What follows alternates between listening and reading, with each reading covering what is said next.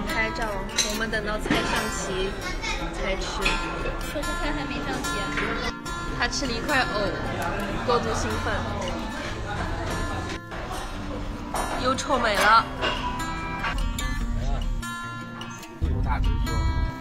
这里蚊子真的好多，快点！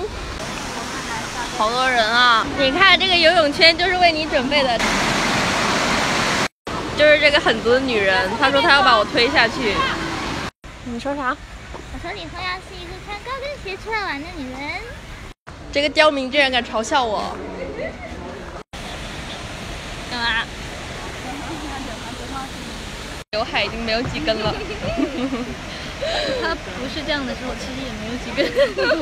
跳个舞，张怀瑾，快点！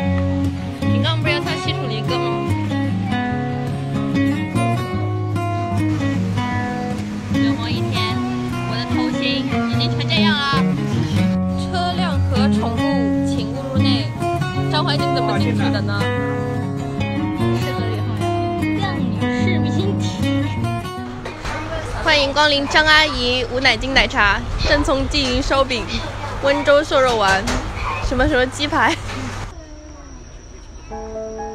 两个没有钱的人还在这等公交。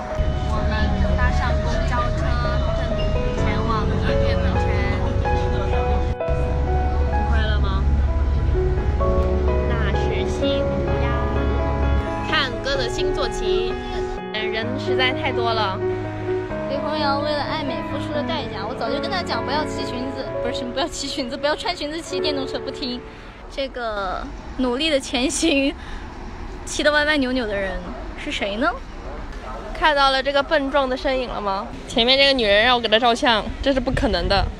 你看，不要，已经不知道骑来哪儿，人好多。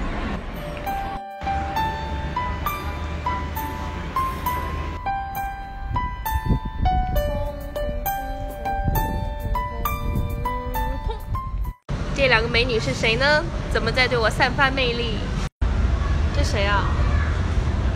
当个神经病。都莫名其妙的逛到了商场。你说啥？呵呵。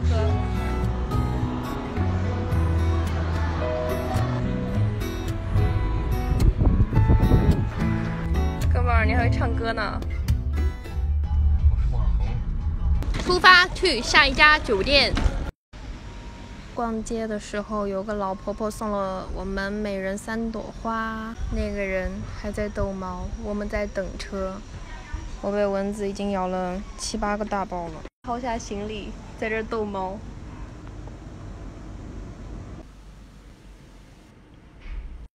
拜拜。